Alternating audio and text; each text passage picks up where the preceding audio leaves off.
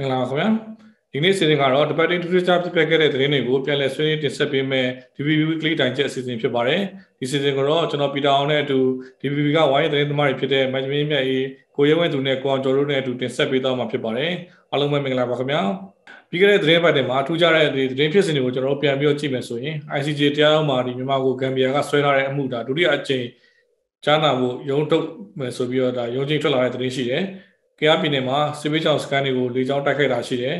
ဒီကတာဘက်မှာဆိုလို့ရှိရင်လည်းဒီနေဘုံကျက်တိုက်ခိုက်လို့ GDPR တွေပျက်စီးတာရှိတယ်နောက် KB နဲ့ DKB စကန်တခုကိုဆိုလို့ရှိရင်စစ်ကောင်စီတပ်ကတိမ့်ပိုက်လိုက်တာရှိတယ်နောက်သတင်းတောက်တွေကိုထပ်ပြီးတော့ဖမ်းဆီးတာတွေဖမ်းဆီးတပ်ဖြတ်တာတွေလည်းရှိနေတယ်နောက်စီးပွားရေးနဲ့ပတ်သက်လို့တော့ဒီမှာပြည်တွင်းမှာလောင်စာစီဈေးတွေတက်တယ်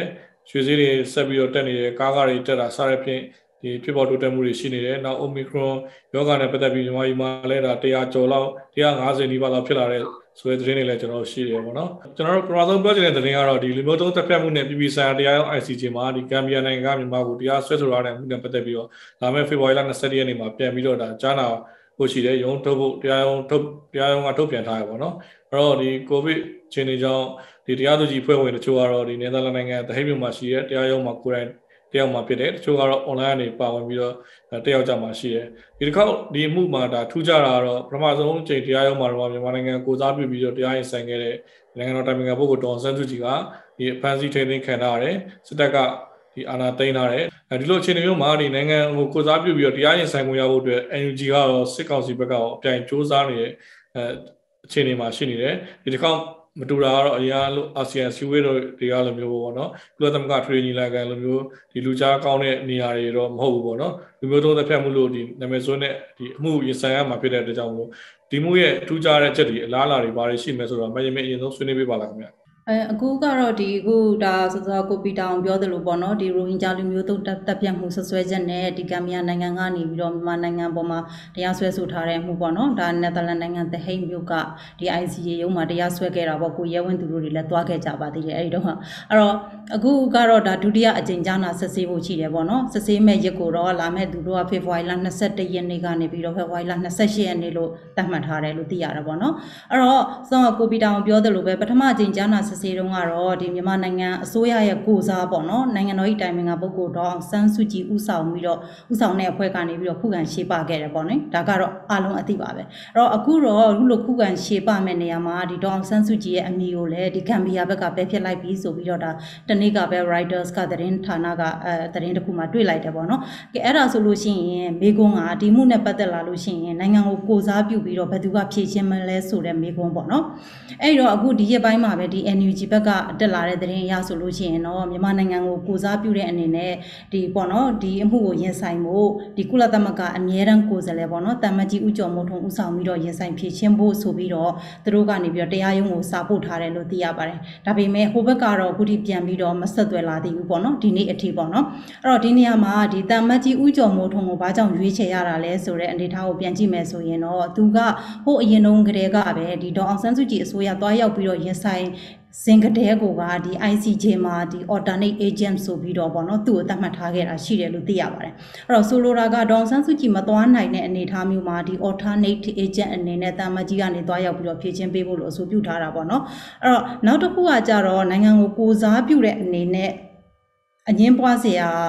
မရှိတာကလည်း ဥကြုံမိုးထွန်းတယောက်ပဲရှိနေတယ်ဆိုတဲ့အနေအထားမျိုးပေါ့နော် alternate agent လည်းဖြစ်တယ်လို့လက်ရှိကုလသမဂ္ဂရဲ့ဒီအထွေထွေညီလာခံဆုံးဖြတ်ချက်အရဆိုရင်လည်းမြန်မာနိုင်ငံကိုတရားဝင်ကိုစားပြုနေတဲ့တဦးတည်းသောတန်အမတ်လည်းဖြစ်နေတယ်ဆိုတော့ဒါကို NUG ကနေပြီးတော့ ICJC ကိုစာရေးသားပေးပို့ထားတယ်ပေါ့နော်ဒီနေရာမှာစက်ကောင်စီဘက်ကလည်းသူတို့အာဏာသိမ်းပြီးတဲ့နောက်ပိုင်းမှာဒီ ICJ အမှုကိုရင်ဆိုင်ဖို့ဆိုပြီးတော့ဒီငကူတဲ့ဖွဲ့စည်းထားတဲ့ကော်မတီရှိတယ်ပေါ့နော်အဲ့ဒီကော်မတီကော်မတီကအရင်တော့ရောင်ဆန်းစုကြည်ဦးဆောင်တဲ့ကော်မတီပေါ့အဲ့ဒီကော်မတီကိုပဲသူတို့အာဏာသိမ်းပြီးတော့ပြီးခဲ့တဲ့ဂျွန်လလောက်မှာပဲဟလာဒီနိုင်ငံခြားရေးဝန်ကြီးဝင်းနာမောင်လွင်ကဥက္ကဋ္ဌအဖြစ် တာဝန်ယူပြီးတော့ဒီအစားထိုးပြီးတော့ပြင်ဆင်ဖွဲ့စည်းခဲ့တာရှိတာပေါ့ဒီနေရာမှာဒီ NUG ဘက်ကပြောတာကတော့ဒီစစ်ကောင်စီဟာဒီကုလသမဂ္ဂမှာလည်းကိုစားပြုခွင့်မရဘူးအဲ့တော့အသိအမှတ်လည်းပြုမခံထားရသေးဘူးအဲ့တော့ဒီလိုအနေအထားမျိုးမှာဖိတ်ကြားမယ်ဆိုရင် ICJ ကိုယ်တိုင်ကကုလသမဂ္ဂအထွေထွေညီလာခံမှာရောစုံစုံကဒီ credential committee မှာကျမတို့ဆုံးဖြတ်ခဲ့တာရှိတယ်လေဆုံးဖြတ်ချပြီးသားကိစ္စတွေကိုစန့်ကျင်တယ်လို့ဖြစ်နေမယ်ဒီတော့ဒီဆုံးဖြတ်ချက်ကိုဟိုမလိုက်နာတယ်လို့ဖြစ်သွားတဲ့အနေအထားမျိုးတော့မဖြစ်စေချင်ဘူးပေါ့နော်ဆိုလိုတာကဒါကြောင့်မလို့သူတို့ကစာပို့ထားတယ်ဒါပေမဲ့ဟိုဘက်ကအကြောင်းကြားစာကတော့မရသေးဘူးပေါ့လက်ရှိကတော့ဒီလောက်ပဲပြောလို့ရပါသေးတယ်ဟုတ်ပါအဲ့တော့ဘသူ့ကိုဒီ ICC ကနေဟိုဒီမှပြုပြီးတော့ဒီတရားဥကြားတာပဲဟိုဖိတ်မယ်မဖိတ်ဘူးဆိုတော့ကျွန်တော်တို့စောင့်ကြည့်ရမယ့်အနေထားဒီဘက်မှာဆိုလဲဒီ NUG ကိုဖိတ်မယ်ဆိုလို့ရှိရင်လည်းအဲပထမတစ်ခေါက်2000ဒီစကောရောဒေါ်စသူကြီးပြောပြီးတော့ဒေးမြို့မှာ တရားရင်ဆိုင်ခဲ့တုံးရလို့ပဲအဲဂျာဟိုပေါ့နော်ဒီစစ်တပ်ကကျူးလွန်မှုတွေကိုသူကသွားပြီးတော့ဟိုခေါင်းခံတယ်ဆိုပြီးတော့ဝေဖန်ကြရတယ်ရှိတယ်အခုတစ်ခါတော့ဒီ NUG ကရောဟိုဝင်ပြီးတော့ဒီအမှုကိုရင်ဆိုင်မယ်ဆိုလို့ရှိရင်ဒါစစ်တပ်ကျူတကယ်ကျူးလွန်တာကဒီစစ်ကောင်းဆောင်တွေကျူးလွန်စစ်တပ်ကကျူးလွန်ခဲ့တဲ့ဟာကိုသွားပြီးတော့ခေါင်းခံတယ်လို့ဖြစ်မဲ့အာခင်းချင်းတွေလည်းဟိုဝေဖန်ကြတာမျိုးတွေလည်းကျွန်တော်တို့ရှိရတယ်ပေါ့နော်အဲ့တော့ဒီနောက်စကိုတော့ကဒီဒိန်းမြို့မှာ ဒီဒေါ်ဆန်းသူကြီးသွားပြီးတော့တရားရင်ဆိုင်ဖြစ်စင်းလို့ငါကိုယ်တိုင်သွားပြီးတော့တင်းယူခဲ့ကိုရဲမသူရောဒီမှုရဲ့ထူးခြားချက်တွေနဲ့ဒီမင်းမင်းပြောတာနဲ့မတူတဲ့မြင်ရှုထောင့်တွေရှိရင်ဆွေးနွေးပြပါဦးခင်ဗျာဆိုတော့ဒီခရီးစဉ်ကတော့ဗျဒါလွန်ခဲ့တဲ့2019ခုနှစ်ဒီဇင်ဘာလပေါ့ဆိုတော့နှစ်နှစ်ကျော်လောက်ကဖြစ်သွားပြီဆိုတော့ဒါပေမဲ့ခေါင်းထဲမှာတော့အမတ်တရားတွေကတော့အများကြီးပေါ့ဆိုတော့ဒီခရီးစဉ်ကဒီ ICJ မှာသွားပြီးတော့ဖြည့်ရှင်းရတယ်ဆိုတဲ့ခရီးစဉ်ကအမ်ဘယ်လိုခေါ်မလဲဂုံမရှိဘူးဗျ ဟိုသွားတဲ့လူတွေအတွက်လည်းရှက်စရာကြီးပြောရရင်လေဒါပွင့်လင်းပြောရရင်တော့သွားတယ်ကျွန်တော်တို့အနေနဲ့လည်းရှက်စရာကြီးဒါကျွန်တော်တို့နိုင်ငံကိုဒါလူမျိုးလုံးတပ်ဖြတ်မှုနဲ့တရားစွဲတယ်ဆိုတာဟိုဘလို့ဟိုသွားပြီးတော့ရင်ဆိုင်ဖြစ်ရှင်းရတဲ့လူကကတော့ကွန်ပျူတာပြောတဲ့စကားထုတ်ပါပဲဟိုတက်ကကျူးလွန်တဲ့ကိစ္စတွေအများကြီးကိုသွားပြီးတော့ခေါင်းခံပြီးဖြစ်ရှင်းရတဲ့ကိစ္စအဲ့တော့အဲ့ခီးစင်းနဲ့ပတ်သက်တော့ကျွန်တော်အဲ့တုန်းကဆိုတွန်းတွန်းတက်တက်မေးခဲ့တဲ့မေးခွန်းတွေတော်တော်များလူတော်တော်များများဟိုဒါ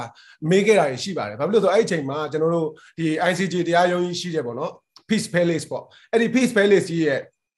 အပြင်ဘက်မှာဒါဆန္ဒပြတဲ့ဆန္ဒပြတဲ့လူတွေရှိသလိုတစ်ဖက်ကလည်းထောက်ခံဆန္ဒပြတယ်ဆိုတဲ့အဲလူတွေနှစ်ဖွဲ့ရှိတယ်ဗျအဲ့တော့အဲ့ဒါကိုလည်းသူဒီမှာနယ်သာလန်မှာရှိတဲ့ရဲတွေကဒါနှစ်ဖက်အဲဘယ်လိုခေါ်မလဲပြိပခမဖြစ်အောင်ဆိုပြီးသူတို့နေရာလေးခွဲပြီးတော့အဲသူတို့ခွင့်ပေးခဲ့တာကိုကျွန်တော်တွေ့ရတယ်အဲ့တော့ဟိုလူပရိသတ်ကတော့ဗျာဒီနေ့ဂမ်ဘီယာရှောက်လဲချက်ပေးမယ်ဆိုရင်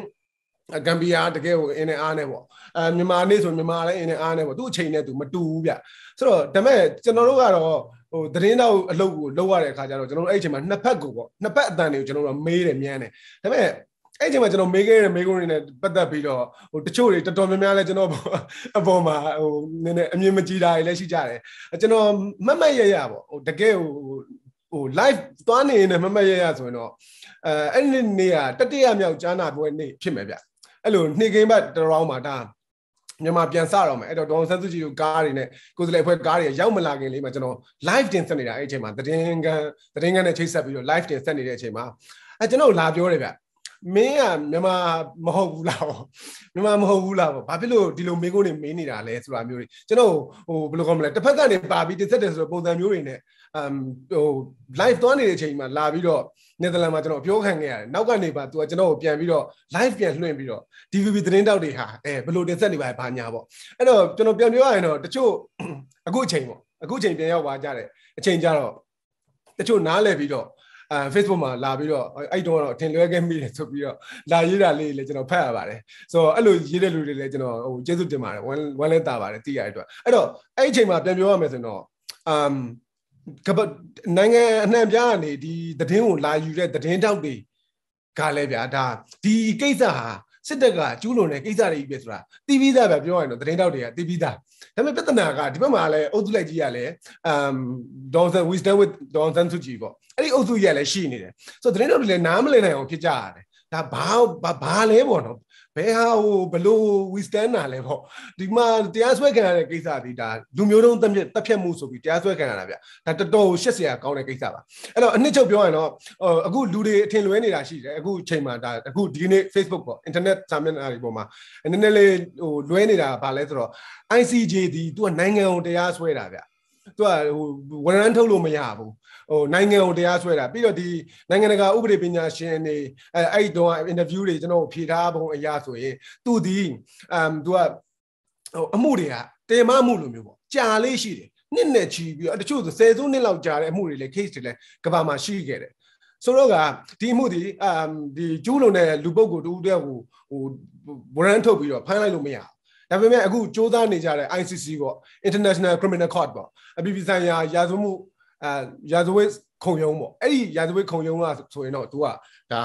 လူပုဂ္ဂိုလ်ကိုတရားစွဲလို့ရတယ်လူပုဂ္ဂိုလ်ကိုအဖမ်းဝရမ်းထုတ်လို့ရတယ်ဆိုတော့ဒီဟာကတော့ ICJ နဲ့ပတ်သက်ပြီးတော့ကျွန်တော်ဒါအမှတ်မိတာလေးတခုကိုကျွန်တော်တေချာရှင်းပြတာပါဗျအဲ့တော့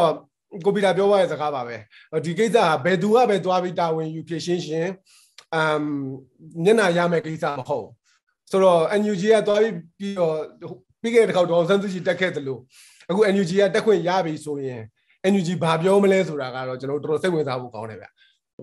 ကိုကိုပီတာကိုကျွန်မနည်းနည်းအဲ့နေရာမှာနည်းနည်းပြောချင်တာပေါ့လေစောစောတုန်းကကိုရဲဝင်းသူပြောတာနဲ့ဆက်ဆက်ပြီးတော့လေကိုရဲဝင်းသူကတော့ဟိုပေါ့နော် သွားပြီးတော့ရင်ဆိုင်ဖြည့်ချင်းရင်ဆိုင်ဖြည့်ချင်းရတယ်ဆိုတော့ကိစ္စကဘယ်သူပဲသွားပြီးတော့ဖြည့်ချင်းရဖြည့်ချင်းရပေါ့ဒါကအမတန်မျက်နှာပူစရာကောင်းတဲ့ကိစ္စဆိုပြီးပြောတာရှိတာပေါ့လေဒါပေမဲ့ကျမတို့တစ်ဖက်ကပြန်စဉ်းစားကြည့်မယ်ဆိုလို့ရှိရင်တော့ဒီကပေါ့နော် ICJ ကတကယ်တော့အမှန်တော့တရားမျှတမှုခုံရုံးပါဒါကြောင့်လဲဒေါအောင်ဆန်းစုကြည်ကရွေးသွားပြီးတော့တက်ခဲ့တာပါအဲ့တော့ ICC တို့နဲ့မတူဘူးပေါ့နော်ဟိုကတော့ရာဇဝတ်ခုံရုံးဖြစ်တယ်ဒီကတော့တရားမျှတမှုခုံရုံးဖြစ်တယ်ပြီးတော့နိုင်ငံကိုဆွဲတယ်ပေါ့နော်ဒီအနေအထားမှာဒေါအောင်ဆန်းစုကြည်ကသွားပြီးတော့အာဒီခုခံရှေ့ပခဲ့တာဖြစ်တယ်နောက်တစ်ခုကတော့အခုကိုရဲဝင်းသူပြောတဲ့ထဲထဲမှာအဲသူအထင်လွဲတာတွေကိုသူခံရတယ်ဆိုတဲ့အခါတိုင်းမှာအဲတခါ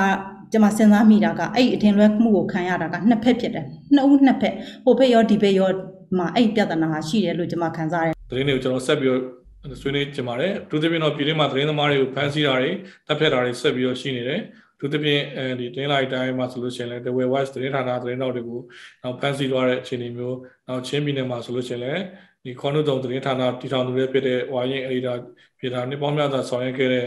ဒီသတင်းသတင်းသမားပေါ့နော်ဘူးတီတင်ကိုဒါစစ်တပ်ကဖမ်းဆီးတပ်ဖက်လိုက်တဲ့သတင်းလည်းရှိရဒီအခြေအနေနဲ့ပတ်သက်ပြီးတော့ပြည်ထဲမှာလက်ရှိသတင်းသမားတွေဘလို့ရင်ဆိုင်နေရလဲအဲဒီခုနတဝဲ West သတင်းဌာနတွေသတင်းဌာနသတင်းတောက်တွေသတင်းကံကိုဝင်စီးပြီးတော့သတင်းတောက်တွေကိုဖမ်းသွားတဲ့အခြေအနေနဲ့ပတ်သက်ပြီးတော့လေ့လာထားတဲ့ DVB သတင်းတောက်ကိုအောင်ကျော်ကပြောပြပေးပါလား အဲ့ဒါအဲ့တော့ဒီတင်းသားကြီးရောဒဝဲဝဲသတင်းဌာနကဒါသတင်းထောက်တွေအမှတ်ခံခဲ့ခြင်းခြင်းပေါ့လေကျွန်တော်ဒီလက်ရှိဒီပြည်ရင်းမှာဖြစ်ပျက်နေတဲ့ဒီသတင်းမီဒီယာသမားတွေရဲ့ဟိုစီနီလေးနဲ့လည်းပြောပြချင်ပါတယ်အဲအဲ့ဒါဘာလဲဆိုတော့ဒီစစ်တပ်ကနေပြီးတော့ဒါအာဏာသိမ်းတယ်ပေါ့လေအာဏာသိမ်းပြီးတော့ဒါသတင်းထောက်တွေကိုဒါရွေးချယ်ရှိရှိနဲ့ဒါဖမ်းဆီးတယ်ပြီးတော့ဒါနှိမ့်ဆက်တဲ့ထောင်ချတယ်ပေါ့လေအဲဒီလိုဖြစ်စဉ်တွေကဒါတောက်လျှောက်လွတ်လာခဲ့တယ်ပေါ့လွတ်လာခဲ့ပြီးတော့ကျွန်တော်တို့ဒီသတင်းသမားတွေကိုဒါတက်ဖြတ်တဲ့ဖြစ်စဉ်ကအမှစပြီးဖြစ်လာတယ်ဆိုတော့ကျွန်တော်ဒီပြီးခဲ့တဲ့နှစ် ဒါဇန်နဝါရီလထဲမှာအော်ဒီဇင်ဘာလထဲမှာပေါ့လေဒါပြီးခဲ့တဲ့နှစ်ဒီဇင်ဘာလထဲမှာဒါဟိုသတင်းရယူနေတဲ့ဒါရန်ကုန်မြို့မှာသတင်းရယူနေတဲ့ဒါဓာတ်ပုံသတင်းထောက်ဒါကိုစိုးနိုင်ကိုဒါစစ်ကြောရေးမှာအာပထမဆုံးတင်ခဲ့တယ်ပေါ့ဒါကတော့ဒါသတင်းထောက်တွေထဲမှာဒါသူတို့ကြပထမဆုံးဒါအသက်ပေးခဲ့ရတဲ့ဒါသတင်းထောက်ကြောက်ဖြစ်ပါတယ်အဲအဲ့ဒါကြီးဖြစ်စဉ်ပြီးသွားတဲ့နောက်ပိုင်းမှာကျွန်တော်တို့ဒါဘယ်မှာဆက်ဖြစ်လဲဆိုတော့ကျွန်တော်ဒီဒီဇင်ဘာလ25ရက်နေ့မှာပေါ့လေဒါကင်းပြည်နယ်ဒါလေခိကောဒေသမှာရောက်နေတဲ့ကျွန်တော်ဒီ Federal Channel က editor ကိုစာကို A sign K ပေါ့လေနော်ဟိုခေါ်တဲ့ကျွန်တော်တို့ဒီကိုဆိုင်ဝင်းအောင်ကိုဒါစစ်ကောင်စီကနေပြီးတော့ဒါထိုးစစ်ဆင်တဲ့ထိုးစစ်ဆင်တဲ့နေရာပေါ့လေအဲ့မှာဒါဟိုလေးနဲ့လည်းဖြစ်တယ်လက်နက်ကြီးနဲ့လည်းဖြစ်တယ်ပေါ့အဲ့အဲ့မှာပဲဒါလေချောင်းတိုက်ခိုက်မှုမှာဒါလက်နက်ကြီးထိမှန်ပြီးတော့သူလည်းသိသွားခဲ့ပါတယ်သူကတော့ဒုတိယမြောက်ဖြစ်တယ်ပေါ့အဲ့အဲ့ဒီအပြင်ကိုကျွန်တော်တို့နောက်ထပ်တတိယမြောက်ကတော့ဒီဖြစ်လာလဲဆိုတော့ကျွန်တော်တို့အခုဇန်နဝါရီလ6ရက်နေ့ကပေါ့လေဒါခေါနုတုံဒါချစ်ပြီးတဲ့ဖြစ်တိုင်းပေါ့လေ ဒါခေါနုတုံသတင်းဌာနက editor ချုပ်ဟောင်းတူလည်းဖြစ်တယ်ဒါပြီးတော့ခေါနုတုံသတင်းဌာနကိုဒီဆောင်ခဲ့တဲ့အာဒီလည်းဖြစ်တယ်ပေါ့ဒါကိုစလိုင်းရွှေတင်ဆိုတာကိုဒါစစ်တပ်ကနေပြီးတော့ဖန်ဆီးသွားတယ်ပေါ့အနာလေးစစ်တပ်ကနေပြီးတော့ဖန်ဆီးသွားတယ်အဲဖန်ဆီးရဲ့နေရာမှာတော့သူပါဝင်အာဟိုချင်းလူသားဆယ်ဦးပေါ့လေအာဖမ်းသွားတယ်ဖမ်းသွားတဲ့ပုံစံကလည်းဘယ်လိုပုံစံမျိုးဖမ်းသွားလဲဆိုတော့ကျွန်တော်တို့ဒီလက်ပြပုံစံမျိုးလူသားထိုင်းပုံစံမျိုးနဲ့ခေါ်သွားတယ်ခေါ်သွားပြီးတော့ သူတို့ကိုကျွန်တော်နောက်ထပ်3ရက်မြောက်နေ့ပေါ့လေအာသူ့ကိုဖမ်းသွားတာတော့ဇန်နဝါရီလ6ရက်နေ့မှာဖမ်းသွားတယ်အဲ့တော့10ရက်နေ့နဲ့9ရက်နေ့တွေမှာသူ့ကိုသွားပြီးတော့ပြန်တွေ့တယ်တွေ့တဲ့အခါကလည်းဒီဒေသခံတွေကပြန်တွေ့တာပေါ့လေဒေသခံတွေချင်းပြည်နယ်မှာရှိတဲ့အာပြည်သူ့လူမျိုးရေးတက်ကနေပြီးတော့သွားတွေ့တယ်တွေ့တဲ့အခါမှာဘယ်လိုပုံစံမျိုးနဲ့တွေ့လဲဆိုတော့သူ့ကိုဒါဟိုတည်နေတည်နေရပေါ့လေဒါလက်ကိုလည်းနောက်ပြန်ကျိုးတုပ်ထားတယ်ပြီးတော့ဒီ level ကိုလည်းစီးဖြတ်ထားတယ်ပြီးပြင်ကမှကျွန်တော်ဒီလက်ချောင်းတွေကိုပါပြီးပြီးတော့ထုတ်ထားတာလည်းတွေ့ရတယ် ပြောမယ်ဆိုတော့ဒီသတင်းသမားတွေကိုဒီလိုပုံစံမျိုးနဲ့ဆက်ထက်တာကဒါရွေချက်ရှိပြန်လုပ်တယ်လို့ပဲကျွန်တော်တို့ကမြင်ပါတယ်။ဘာလို့ချင်းပြည်နယ်မှာဆိုရင်လည်းအခုအားလုံးသိကြတဲ့အတိုင်းပေါ့လေ။အာဒေတာထဲမှာလည်းဒါတိုက်ပွဲတွေကအများကြီးပြင်းထန်နေတယ်။ဒီပြင်းထန်နေတဲ့အကြောင်းအရာနဲ့ပတ်သက်ပြီးတော့လည်းဒါစစ်ကောင်စီဘက်ကနေပေါ့ဟိုခုနပြောတဲ့ကြီးဝါတွေကိုမိရှူတာမျိုးတွေကိုမိရှူတာပြီးတော့လေးတွေသုံးတာတွေအကုန်လုံးကလည်းဒါသတင်းမီဒီယာတွေမှာတက်လာကြတယ်ပေါ့လေ။တက်လာတဲ့ဆိုတဲ့အကြောင်းအရာကလည်းခုနပြောတဲ့ဒေတာတွေသတင်းမီဒီယာရဲ့အားကောင်းမှုကြောင့်တက်လာတာ။ အဲ့တော့အဲ့လိုအခြေအနေမျိုးမှာမှသူတို့ကဒီသတင်းသမားတွေကိုဒီချက်ရှိရှိနဲ့အခုလိုမျိုးကခေါ်သွားတယ်ဖန်တီးဆက်ဆက်တယ်ပေါ့ဒီလိုမျိုးဖြစ်စီမျိုးတွေကလောက်လာတယ်ပေါ့ဟိုနောက်တစ်ခုကကျွန်တော်တို့ဒီနောက်ဆုံးဖြစ်စဉ်ကိုကျွန်တော်တို့ပြောမယ်ဆိုရင်ကျွန်တော်ဒီတနင်္လာရီတိုင်းမှာပေါ့လေဒါတနင်္လာရီတိုင်းမှာဒီပြီးခဲ့တဲ့ဇန်နဝါရီလ19ရက်နေ့မနေ့ပိုင်းဝင်ကျင်ပေါ့ဆောင်းပိုင်းဝင်ကျင်မှာဒါဒေတာရင်းသတင်းမီဒီယာတစ်ခုဖြစ်တဲ့ The West သတင်းဌာနမှာအာဟိုအလုပ်လုပ်ကိုင်နေတဲ့အာသတင်းထောက်ပေါ့လေဒါသတင်းထောက်ကိုဇော်ရဲ့ နောက်တစ်ယောက်ကဒီသတင်းထောက်အမျိုးသမီးဖြစ်တဲ့မမိုးမြင့်နဲ့အဲ့ The West သတင်းဌာနမှာပဲဒီဇိုင်နာအနေနဲ့လုပ်ကိုင်နေတဲ့ကိုသားကြီးတို့တုံးကိုဒါစကားနှစ်စီးနဲ့အာနေမှာလာပြီးတော့နေအသီးသီးမှာပေါ့လေလာပြီးတော့ဖောက်ခေါ်သွားတယ်အဲခေါ်သွားတဲ့အချိန်မှာလည်းသူတို့ကိုလက်ကန်ကျူတွေတုတ်ထားတယ်ပြီးတော့ကိုစောကိုလည်းကျွန်တော်တို့ခေါင်းကိုဒါဟိုအဝင်မဲ့သွတ်ပြီးတော့ခေါ်သွားရလို့လည်းကျွန်တော်တို့ပြန်ပြီးတော့ကြားရတယ်အဲ့တော့ပြောမယ်ဆိုရင် The West သတင်းဌာနဆိုတာကဒီ data တွေမှာလည်းအာပြောမယ်ဆိုတော့ဗမလိုက်ခြင်း နဲ့အာ data လေးဖြစ်ဖြစ်တွေကိုပြည်သူတွေသိသိသိခိုက်တဲ့ခြင်းတွေကို data သိဖို့နေတဲ့အာ data တွေသတင်းဌာနလည်းဖြစ်တယ်အဲ့တော့လက်ရှိချိန်မှာတော့အဲ့ဖန်ဆီးသွားတဲ့သူတွေနဲ့ပတ်သက်ပြီးတော့ကျွန်တော်တို့အာဖေအိုခေါ်သွားတယ်သူတို့ရဲ့ကျမကြီးချင်းတွေဘယ်လိုဖြစ်တယ်ဆိုတာကိုလည်းဘာမှမသိရသေးဘူးဒီသားစုနဲ့လည်းဆက်သွယ်ပြီးဘာမှအောင်လုပ်လို့မရသေးဘူးပေါ့လေတော့သူတို့ရဲ့ချင်းတွေကကျမကြီးကောင်းလားတက်ရှင်ရပဲရှိသေးလားဘာမှအောင်မသိရသေးဘူးပေါ့အဲ့တော့တနင်္လာရီတိုင်းမှာဆိုရင်တော့ကျွန်တော်တို့ဒီပြီးခဲ့တဲ့စစ်စစ်မှာဆိုရင်ဒါဖန်ဆီးခံရတာပေါ့လေဟိုဖန်ဆီးပြီးထောင်ချခဲ့တာဆိုရင်ကျွန်တော်တို့အားလုံးပေါင်းဟိုရှိပါတယ် အဲကျွန်တော်ရှိမယ် VVB ကကျွန်တော်ကိုအောင်ကျော်ရှိမယ်ပြီးတော့မြို့စီမသတင်းဌာနကဟိုအလူတန်သတင်းထောက်ပေါ့လေကိုစောရှိမယ်ပြီးတော့ဒီတဝဲခြေဆိုင်ဒါသတိနာသတင်းဌာနကသတင်းထောက်ကိုနိုင်လင်းဖို့တယောက်ရှိမယ်ပေါ့ဒါအဲ့ဒီတော့လုံးကတော့ကျွန်တော်တို့ပါဝင်ပေါ့လေကျန်တဲ့နှစ်ယောက်ကတော့ပြန်ပြီးလွတ်လာခဲ့တယ်ပေါ့လေအဲ့တော့တနေ့တိုင်းမှာဆိုရင်ဟိုလက်ရှိဖန်တီးထားတာဆိုတော့ဒီတဝဲဝက်သတင်းဌာနကအာသတင်းထောက်တွေခုဟိုတော့ရောက်ပေါ့လေသူတို့တော့ရောက်ရှိပါတယ်ဆိုတော့ကျွန်တော်တို့ဒီစစ်တပ်ကနေပြီးတော့ကျွန်တော်တို့ဒီအာဏာသိမ်းပြီးရဲ့နောက်ပိုင်းမှာ ဒါတနိုင်ငံလုံးမှာဆိုရင်ကျွန်တော်တို့ဒီဖန်စီခံခဲ့ရတဲ့သတင်းထောက်တွေအားလုံးက180လောက်ရှိတယ်လက်ရှိချိန်မှာတော့ကျွန်တော်တို့ဒီသတင်းထောက်တွေထဲမှာဆိုရင်လက်ရှိထောင်ထဲမှာပေါ့လေထောင်ထဲမှာကြံနေရတော့အမှုရင်ဆိုင်နေရတဲ့သတင်းထောက်တွေကအားလုံးပေါင်းဆိုရင်တော့60လောက်တိတော့ရှိနေပါတယ်ဗျအဲ့တော့ဒါတော့ဟိုလက်ရှိမြန်မာနိုင်ငံမှာဖြစ်ပျက်နေတဲ့သတင်းထောက်တွေရဲ့အခက်အခဲတွေပေါ့လေအဲ့တော့ပြောမယ်ဆိုရင်တော့အရင်ကာလမှာဆိုရင်ကျွန်တော်ဒီသတင်းထောက်တွေကဟိုထောင်နှစ်ဖန်းကိုနေဟိုနောက်ထောင်နှစ်ဖန်းမှာကျွန်တော်လမ်းလျှောက်ပြီးတော့ဟိုသတင်းရေးသားရေးလုပ်ကိုလုပ်နေကြတာ ဟိုခုသတင်းအချက်လက်မှားတယ်ဆိုရင်တရားစွဲခင်ရတဲ့သမတဲ့ထောင်ကြမယ်ပေါ့လေဒီလိုချင်းဒီမျိုးနဲ့သတင်းတွေရေးသားပြီးတော့လုပ်နေရတာပေါ့ဒါပေမဲ့ဒီဘက်ခေတ်ကာလမှာကျတော့အဲ့လိုမဟုတ်တော့ဘူးစစ်တပ်ကအာဏာသိမ်းပြီးနောက်ပိုင်းမှာကျွန်တော်တို့ကဆောင်းနေဖန်းနေမဟုတ်တော့ဘူးအာအသက်ကိုဖက်နဲ့ထုတ်ပြီးတော့အာသတင်းတွေကိုရေးသားပြီးတော့အာတင်ဆက်နေရတာပေါ့လေဟိုအဲ့တော့အဲ့လိုအခြေအနေတွေဖြစ်ပါတယ်ဗျသိရတော့အဲ့တော့သတင်းသမားတွေရဲ့အခြေအနေပေါ့နော်နောက်တစ်ခါဒီ ပြည်ထဲမှာတိုက်ပွဲတွေဆက်လက်ဖြစ်ပွားနေရတဲ့ပတ်သက်ပြီးကျွန်တော်တို့ဆက်ပြီးတော့ဆွေးနွေးဆွေးနွေးကြပါတယ်။ဒီသဖြင့်အာကြားပြည်နယ်တို့စကိုင်းတိုင်းတို့မှာလည်းတိုက်ပွဲတွေအပြင်းထန်ဆက်ပြီးတော့ဖြစ်နေတယ်။အဲပရိုဆိုမျိုးနယ်မှာဆိုလို့ရှိရင်ဒါစစ်တပ်ကဒီလေကြောင်းနဲ့ဘုံကျဲတိုက်ခတ်တာကြောင့်ဒီဒီစစ်ပေးဆောင်ကလေးတွေပါဝင်လူပြည်သူတွေတချို့ဒါတည်ဆုံသွားတာရှိရဲ။နောက်ကတာဘက်မှာဆိုလဲမှတ်တိုင်ကြီးရဘက်မှာဆိုလဲအာ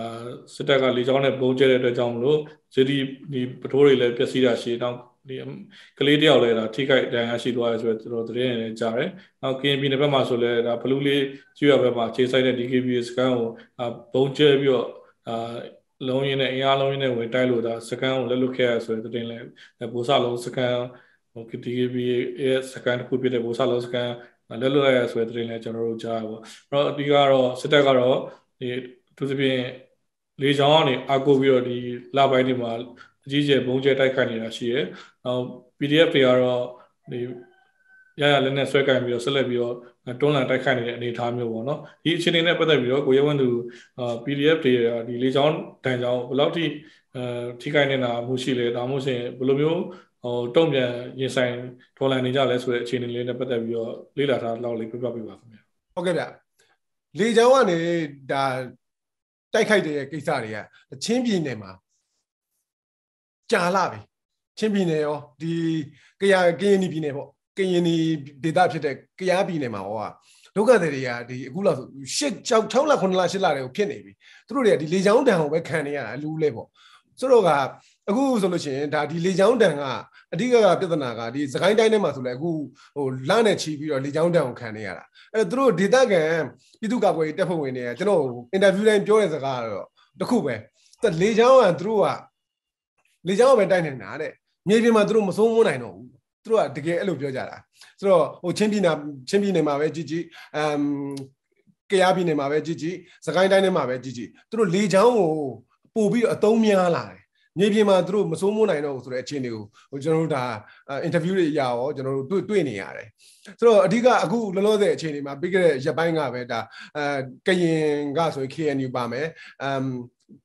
ကရင်နီဒေတာကကြရပြည်နယ်က KNPP ပါမယ်အဲပြီးလို့ရှိရင် KTF ပေါ့ KTF ပါမယ်အဲ့ဒီအဖွဲ့တွေကနေပြီးတော့ဒါ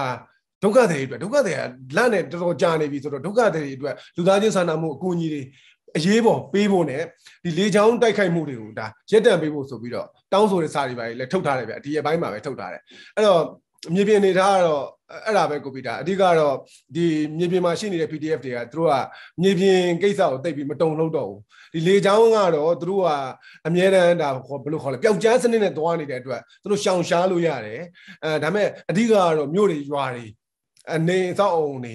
ပြီးရင်အခုဆိုရှင်ဒါဒုက္ခသည်စခန်းတွေကိုပြစ်တာခတ်တာတွေပဲလည်းရှိတာပဲဆိုတော့သူတို့ကတော့လေချောင်းကိုပဲအဓိကထားပြီးအားကိုးနေတဲ့အနေအထားကိုကျွန်တော်တွေ့ရတယ် PDF တွေဘက်ကတော့သူတို့ကတော့ပျောက်ကြားစနစ်နဲ့တွားနေတဲ့အတွက် PDF တွေအကြဆုံးကတော့ဟိုဒီလောက်ကြီးမရှိဘူးလို့ကျွန်တော်ကတော့ interview တွေရသိရတယ်ဗျ။အဲကိုအောင်ကျော်ဒီအခြေအနေနဲ့ပတ်သက်ပြီးတော့ဒီ ground ထဲမှာနော်ဘလို့အခြေအနေတွေဖြစ်နေလဲအဲ့ဒါကြားတာကတော့ကျွန်တော်တို့ဒီလက်ရှိပေါ့လေဒီဒီပိုင်းတိုင်းဘက်မှာလည်းဒီစစ်ကောင်စီဘက်ကနေပြီးတော့ဒါဟိုအကြီးကအကြဆုံးတွေကအများများနေလို့သိရတယ်အဓိကတော့ဟိုပြောမယ်ဆိုတော့မြေပြင်မှာသူတို့လာတဲ့ရင်တန်းတွေကိုကျွန်တော်တို့ဒီမိုက်ဆွဲတက်ခိုက်ခံရတဲ့စစ်စင်တွေကလည်းအဲစကိုင်းနဲ့မှာက ဟိုတော်တော်လေးကိုဖြစ်တယ်ပေါ့လေဖြစ်တဲ့အခါကျတော့ပြီးခဲ့တဲ့ရက်ပိုင်းမှာဆိုရင်ကျွန်တော်ဒီမြို့မြို့ပေါ်မှာရှိတဲ့ဒီစစ်ကောင်စီသူတို့အဖွဲ့တွေရှိရနေရညာပြမှာပေါ့လေဘုံတွေတိုက်တွေပေါက်တယ်ပေါ့အဲဒီတော့သူတို့ဘက်ကလည်းတော်တော်လေးအထိကိုက်နာနေတယ်ဟိုဒီခိုင်းတိုင်းပြမှာလည်းအထိနာနေလို့ပြောရမယ်အဲ့တော့သူတို့ကဘာလုပ်လဲဆိုတော့ဒီ data တွေမှာရှိတဲ့ဒီလက်နက်ကိုင်အဖွဲ့တွေကိုသူတို့ထောက်ပုံဟိုထောက်ပံ့မှုမလုပ်နိုင်အောင်လို့ပေါ့လေ အာဟိုပြောမယ်ဆိုတော့ဖြတ်လေးတဲ့ပုံစံမျိုးပေါ့ဒါသူတို့ရဲ့ဒီစစ်တပ်မှာရှင်းသုံးနေတဲ့ဒါလမ်းစဉ်တိုင်းပဲဟိုအရင်ပြောစစ်တွေသေးခုကအာကျွန်တော်တိုင်းသားဒေတာတွေမှာဖြစ်တတ်တဲ့ဆိုရင်သူတို့ဖြတ်လေးတဲ့နဲ့အာဟိုဟိုဆက်လက်ဘယ်လိုခေါ်မလဲရေရှိတိုက်ပွဲမသွားနိုင်အောင်လို့ပေါ့လေလုတ်တဲ့နီးနာပေါ့အဲ့လိုနီးနာတွေသူတို့သုံးလာတယ်အခုဒီဘိုင်းတိုင်းထဲမှာဆိုရင်လည်းဒီသွားတဲ့ဒီခီးတဲ့ကားတွေအစအကုန်လုံးကိုစစ်ဆေးတယ်ဟိုအဝိစားတွေအစဟိုစားတော့ပုံမပြောနဲ့ကျွန်တော်ဒီအဝိစားတွေအစ အဲ့လိုမျိုးပုံစံမျိုးတွေအစပေါ့လေရန်ကိုစစ်ဆေးတယ်တင်းကျပ်တယ်ဟိုဟိုဖေးမစဲတာမျိုးတွေဒါကန့်တက်တာတွေအကုန်လုံးကိုလုပ်လာတယ်သူတို့အခက်မသိရင်ဖတ်စီတဲ့ဟာမျိုးတွေအစားလုပ်လာတယ်ပေါ့လေအဓိကတော့ဒီဒေသမှာရှိတဲ့ပြည်သူတွေကောဒီလက်နက်ကိုင်အဖွဲ့တွေကောဘာမှဆက်ပြီးတော့သူတို့ကိုမတွန်းလှန်လှန်နိုင်အောင်လို့ဒါထောက်ပို့မှုတွေမလုပ်နိုင်အောင်လို့ပေါ့လေဒါလုပ်လာတဲ့သဘောမျိုးတော့ဖြစ်တယ်ဗျဒါပေမဲ့လည်းပြည်သူတွေကရော ဒီလက်နက်ကင်ဖွဲ့တွေကရောသူတို့ရတဲ့နီလန်းနဲ့ဆက်ပြီးတော့ဒါတိုက်ပုံးဝင်သွားမယ်လို့လည်းကျွန်တော်တို့ကြံပြီးသိရတယ်ပေါ့လေဒါကတော့ကျွန်တော်တို့ဒီစကိုင်းတိုင်းတစ်ခါအခြေအနေဖြစ်တယ်ဒီကျွန်တော်တို့ဒီလက်နိုင်တိုင်းဆက်မှာဆိုရင်လည်းဒီအခုဒီတွေ့ပေါ့လေဒီဇန်နဝါရီလပိုင်းကစပြီးတော့ကျွန်တော်တို့ဒီတိုက်ပွဲတွေစပြီးတော့ဖြစ်လာတယ်အဲပထမဆုံးဖြစ်တဲ့နေရာကတော့ကျွန်တော်တို့ဒီဟိုတနင်္လာရီမြို့နယ်ထဲမှာရှိတဲ့ဒီတခုချီရွာဘက်မှာပေါ့လေအဲအဲ့တော့အဲ့ဘက်မှာရှိတဲ့ဒီ PDF ဘန်းတွေကိုသူတို့လက်လက်ကြီးနဲ့လက်ပစ်တယ်ရွာသားတွေကိုလူသားတိုင်းနေနဲ့ခေါ်သွားတယ်ခေါ်သွားပြီးတော့လက်ကြဖိုင်တယ်ပေါ့ အဲအဲ့လိုမျိုးတွေကိုအဲကျွန်တော်ကြားတယ်အဲပြီးခဲ့တဲ့ပိုင်းမှာဆိုရင်ကျွန်တော်ဒီဒဝယ်မျိုးနဲ့နေတဲ့ဒီဒဝယ်မျိုးပေါ့လေဒဝယ်မျိုးနဲ့တိတ်မိုးလေးဆက်မိုင်လောက်ပဲဝေးတဲ့ဒီမြင်းမတက်ရွာလို့ရှိရဲအဲအဲ့ဘက်မှာဆိုရင်လည်းကျွန်တော်တို့အခုလိုမျိုးပဲစစ်တပ်ကနေပြီးတော့အင်အားလုံးရင်းနဲ့150လောက်နဲ့ရွာတွေဝင်တယ်ပြီးတော့ရွာတွေကိုမြှရှိရလို့ပြောတယ်တချို့တွေကိုလည်းဖမ်းဆီးခေါ်ဆောင်သွားတယ်နောက်ပြီးတော့ PDF တွေရှိမဲ့လို့ထင်ရတဲ့နေရာတွေကိုလည်းသူတို့လက်နက်ကြီးနဲ့လှမ်းပစ်တယ်လို့သိရတယ်ပေါ့လေ အဲ့တော့ဟိုဘယ်ဘက်ကအထိကအကြဆုံးတွေဖြစ်လဲဆိုတော့ဒါမြေပြင်မှာတော့ကျွန်တော်တို့စုံစမ်းနေတဲ့ဖြစ်တယ်ဒါကတော့သိချာမသိသေးဘူးပေါ့အဲ့ဒါတော့ဒီတင်းတိုင်းတိုင်းမှာနောက်ဆုံးဖြစ်ပြနေတဲ့ဒါတိုက်ပွဲစီရီဖြစ်ပါတယ်ဗျနော်ကျွန်တော်ဒါတော့တိုက်ပွဲသတင်းတွေကျွန်တော်ဆွေးနွေးခဲ့ပါဆက်လက်ပြီးတော့ကျန်းမာရေးနဲ့ပတ်သက်တဲ့သတင်းတွေကျွန်တော်ဆက်လက်ပြီးတော့ဆွေးနွေးချင်ပါတယ်အထူးသဖြင့်ဒီ Omicron ရောဂါနဲ့ပတ်သက်ပြီးတော့မြန်မာနိုင်ငံမှာလည်းတွေ့ရှိရတဲ့လူကရောက်150လောက်ရှိလာပြီပေါ့နော်အော်ဒီကမ္ဘာမှာလည်းဒီ Omicron ရဲ့ကြရက်ကြောင့်စီးပွားရေးကမ္ဘာစီးပွားရေးကအာ ကြဆင်းကြဆင်းနေကွေတိတာနှီးကွေးဖို့ရှိနေတယ်ဆိုပြီးကမ္ဘာ့ဘဏ်ကြာသိငယ်ပဲအစီရင်ခံစာထုတ်ပြန်လာတယ်ပေါ့အဲ့တော့မြန်မာနိုင်ငံမှာဒီ Omicron ရောဂါအခြေအနေနဲ့နောက်ဖြစ်လာနိုင်တဲ့စီးပွားရေးကြရက်တွေပေါ့နော်အဲ့ဒါနဲ့ပတ်သက်ပြီးတော့မယမင်းဆက်လက်ပြီးတော့ဆွေးနွေးပြပါမယ် အဲဒီဒီ Omicron နဲ့ပတ်သက်ပြီးတော့ပြောရမယ်ဆိုလို့ရှိရင်တော့ဒီ Omicron ကိုဒီမြန်မာနိုင်ငံမှာစတွေ့ခဲ့တာကြတော့ပြီးခဲ့တဲ့ဒီဇင်ဘာလပေါ့နော်28ရက်နေ့တုန်းကပေါ့နော်အဲဒါကဒီဒူဘိုင်းကနေပြီးတော့ဒီကယ်ဆယ်ရေးလေယာဉ်နဲ့ပြန်ဝင်လာတဲ့ဒီမြန်မာနိုင်ငံသား၄ယောက်မှဒီ Omicron ပိုးစတွေ့တယ်လို့သိရတာပေါ့နော်အဲ့တော့မနေ့ကဆိုလို့ရှိရင်ဒါမနေ့ကကျမရေးဝန်ကြီးဌာနထုတ်ပြန်ကြေရဆိုပြီး20ရက်နေ့နဲ့ထုတ်ပြန်ချက်မှာကိုဗစ်ရောဂါပိုးတွေ့ရှိတဲ့လူက130ပေါ့နော်130လောက်ရှိတယ်လို့ပြောပါတယ်အဲ့တော့အနေအထားကတော့ပေါ်စားလို့မရဘူးပေါ့နော်အဲ့တော့လက်တလုံးမှာဆိုလို့ရှိရင်ဒီဒီဒီမြန်မာနိုင်ငံမှာဒီ Omicron ရောဂါပိုးတွေ့ရှိတဲ့လူပေါ့အဆုံးကကိုပီတာကလည်းပြောခဲ့တယ်100 146ယောက်ရှိတယ်ဆိုပြီးဒါစက်ကောင်စီကျန်းမာရေးဝန်ကြီးဌာနကထုတ်ပြန်ထားတာပေါ့နော်ဒါပေမဲ့ဒါဒီထက်အများကြီးလဲအများကောင်းလဲများနိုင်တယ်ဥပမာဆိုလို့ရှိရင်ဒီဖောင်ကြီးကိစ္စလိုဟာမျိုးပေါ့နော်ဖောင်ကြီးကိစ္စကိုညင်းထားတယ်ဆိုပေမဲ့တချို့ဒီရုံးနှညွှန်ကြားစာတွေအရာဆိုလို့ရှိရင် Omicron ဖြစ်တယ်ဆိုတာမျိုးကြားသိရတာမျိုးလည်းရှိတယ်အဲ့တော့ဒီ Omicron နဲ့ပတ်သက်လို့ရှိရင်ကျမတို့ရေဘူးကအပြင်သိထားတာကကူးစက်မှုမြန်တယ်အဲเนาะဒါပေမဲ့သိ ဆုံးမှုနည်းတယ်ဆိုတာမျိုးပဲသိထားသိထားတာပေါ့နော်နောက်တစ်ခုကကျတော့ဒီ WHO ကိုယ်တိုင်ကဒီ Omicron နဲ့ပတ်သက်ပြီးတော့တိတိကျကျမပြောနိုင်သေးတဲ့အပိုင်းတွေလည်းရှိတယ်အဲ့တော့ဘာပဲဖြစ်ဖြစ်ပြည်သူတွေအနေနဲ့ကတော့တတိထားတဲ့နဲ့အခုစက်ကောင်စီဘက်ကပြောတာကဒီမြန်မာနိုင်ငံမှာကာကွယ်ဆေးထိုးထားတဲ့လူရဲ့22တန်းခွဲရှိပြီလို့သူတို့ပြောထားတယ်ဒါပေမဲ့အဲ့22တန်းခွဲဒါသူတို့ထုတ်ပြန်တာပေါ့နော်အဲ့22တန်းခွဲမှာတချို့ကတစ်ချိန်မဲ့ဆေးထိုးထားသေးရသေးတဲ့လူတွေပေါ့နော်နောက်တချို့ကကျတော့နှစ်ချိန်ထိုးပြီးသားဖြစ်တယ်ပေါ့နော်အဲ့တော့ခက်တာကဒီ Omicron ကကာကွယ်ဆေးလည်းအပြည့်အဝမကာကွယ်ပေးနိုင်တဲ့အနေအထားမျိုးဖြစ်တယ်ပေါ့လေအဲ့တော့နောက်ဆုံးတော့ဒီပေါ်တော့ဖြစ်တယ်ဖြစ်တော့ဖြစ်တဲ့သေဆုံးမှုနည်းတယ်ဆိုပေမဲ့ပေါ်စားလို့မရတဲ့အခြေအနေပေါ့နော်အဲ့တော့နောက်ထပ်ဒီကောင်က mutation လည်းထပ်ဖြစ်နိုင်တာပေါ့ဒါကတော့ Omicron နဲ့ပတ်သက်တဲ့အခြေအနေပေါ့။နောက်ဒီစီးပွားရေးနဲ့ပတ်သက်တဲ့ gear တွေလက်ရှိတော့မြန်မာနိုင်ငံမှာကတော့ဟိုစီဈေးတွေလည်းအရင်တက်နေတက်နေတယ်။နောက်ဒေါ်လာဈေးတွေကလည်းတက်နေတယ်။စသဖြင့်ဟိုဒီစီးပွားရေးနဲ့ပတ်သက်တဲ့ဒီကားကဒီတိတ်ပို့ဆောင်ရဲ့နေရာမှာကားကားတွေတက်နေတာမျိုးလည်းရှိရအစုံကတော့ ဟိုဒီကုန်စည်နှုန်းတွေကလည်းအစမတန်အမြင့်တက်နေတဲ့အခြေအနေမျိုးဖြစ်နေတာပေါ့နော်အဲ့တော့ဒီစီးပွားရေးဟိုဒီရိုက်ခတ်မှုတွေနဲ့ပတ်သက်ပြီးတော့ဆက်လက်ပြီးတော့ဆွေးနွေးပေးပါမယ် အဲဒီဒီဥစ္စာကျမတို့ဒါအာနာမသိခင်ကပဲပေါ့နော်ဒီ COVID-19 ယောဂမြန်မာပြည်ထဲကိုစပြီးတော့ဒီယောဂကူးစက်လာပြီးဆိုကြတဲ့ကိုကစီးပွားရေးကတော့နှေးသွားတာမှန်ပဲလေစီးပွားရေးနဲ့ပတ်သက်ပြီးတော့အကြက်တဲတွေခက်ခဲတွေဖြစ်လာတယ်ပေါ့နော်ဒါပေမဲ့အဲ့တုန်းကတော့အစိုးရဘက်ကနေပြီးတော့သူတို့ကအာနိုင်တဲ့လောက်ထောက်ပံ့ပေးတဲ့အပိုင်းတွေလည်းရှိတယ်လုပ်ငန်းတွေကိုထောက်ပံ့တာတွေရှိတယ်ပေါ့နော်ဒါမျိုးတွေရှိတယ်ဒါပေမဲ့စီးပွားရေးကနှေးသွားတယ်ဒါပေမဲ့အဲ့လိုအနေအထားမျိုးမှာပဲသူအတိုင်းအတာတစ်ခုထိထိန်းထားနိုင်တယ်ဆိုရမှာပေါ့ဗျာဥပမာဆိုရင် NLD ဆိုကလက်ထက်မှာဒီဒေါ်လာဈေးဒီ1500လောက်ထိတက်ခဲ့တာရှိတယ်ဒါပေမဲ့အဲ့1500တက်ခဲ့တဲ့ဟိုစာကိုသူဒေါ်လာဈေးကိုပြန်ချပြီးတော့1300ဝန်းကျင်လောက်မှသူထိန်းထားနိုင်တယ်။ even ဒါကိုဟိုကိုရိုနာဗိုင်းရပ်စ်ဖြစ်နေတဲ့ကာလမှာလည်းသူထိန်းထားနိုင်ခဲ့တယ်ပေါ့နော်။အဲ့တော့အဲ့လိုအနေအထားတွေရှိပေမဲ့ဒီအာနာသိမ့်လိုက်တဲ့အခါကျမှကြားတဲ့အခါကျတော့ဒီကုန်စည်နှုန်းကိုဘလို့မှမထိန်းနိုင်တဲ့အပိုင်းတွေလည်းသွားပြီးတော့တွေ့ရတယ်ပေါ့။ဥပမာတစ်ခုပြောမယ်ဆိုရင်ကျမတို့ပေါ့နော်။ဥပမာချွေဈေးလိုဟာမျိုးပေါ့နော်။ချွေဈေးက73သိန်း73သိန်းခွဲလောက်မှာအဲ့လိုပတ်ဝန်းကျင်လောက်မှာရှိတယ်။ဒါပေမဲ့ဒီအာနာလည်းသိမ့်လိုက်ရောအဲ့ပထမတစ်ပတ်ထဲမှာတင်သူ14သိန်းဖြစ်သွားတယ်ပေါ့နော်။အဲ့ဒီအနေအထားကနေပြီးတော့တဖြည်းဖြည်းချွေဈေးတက်လာတာအခုဆိုလို့ရှိရင်ချွေဈေးကအဲ17သိန်း7000ကျော်ပေါ့နော်19သိန်းနီးပါးလောက်ဖြစ်နေတာတွေ့ရတယ်အဲ့လိုပဲ American Dollar ကလည်းဒါတဘိုးဘဏ်ကသူတို့ထုတ်ပြန်ထားတာ1980ကျပ်ဆိုပေမဲ့ပေါ့နော်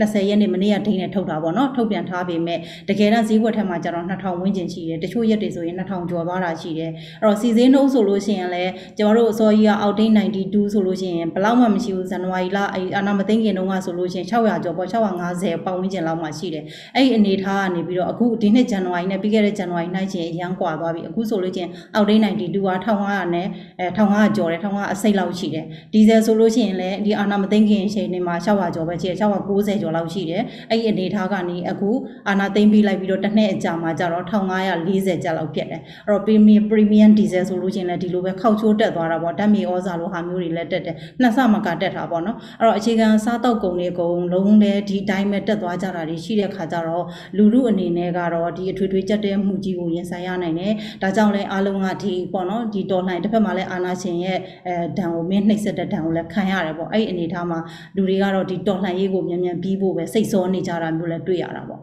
ကမ္ဘာ့အစီရင်ခံစာဆိုလို့ရှိရင်ဒီကမ္ဘာတွမ်းမှာ20ဒီ2021ပေါ့နော်ပြီးခဲ့တဲ့နှစ်ကဆိုရင်စီးပွားရေးက9.5ရာခိုင်နှုန်းရှိရနေပြီးတော့အခု